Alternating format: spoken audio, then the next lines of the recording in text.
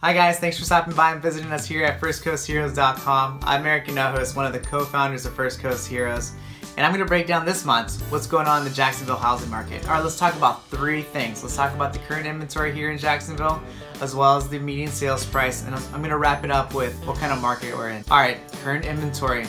If you remember last month, I talked about it. It was low. No surprise here. It still remains low. Currently, we have 8,277 homes for sale here in Jacksonville. Okay, how about that median sales price?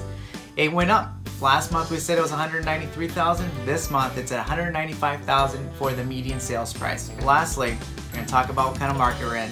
You might have guessed it, we're in a seller's market. So if you're a homeowner and you're thinking about selling, go ahead and give us a call here at 904-607-7202. We'll go ahead and send you that free home valuation. Alright, thanks guys. Thanks for tuning in. And this is Eric Hinojos, and I'm out.